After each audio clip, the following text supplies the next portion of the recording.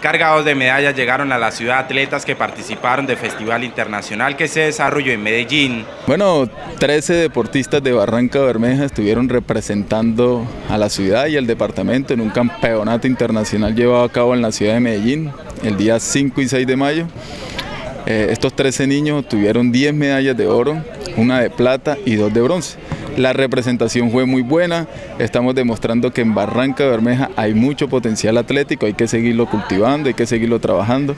Y esperamos seguir participando, que la federación y la liga nos dé la oportunidad de, seguir llevando a los niños a estos eventos que, que dejan muy en alto a Barranca Bermeja y a Santander.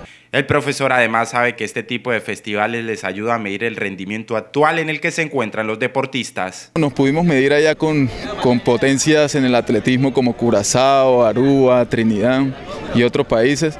Esperamos que los niños pues eh, hayan tenido esta satisfacción y hayan tenido esta experiencia que les va a servir mucho en su crecimiento personal y deportivo y ahora nos preparamos para, para otros eventos del calendario nacional con algunos de estos niños que participaron en este evento. Luego de esta destacada participación, estos menores se preparan para seguir afrontando torneos de talla nacional.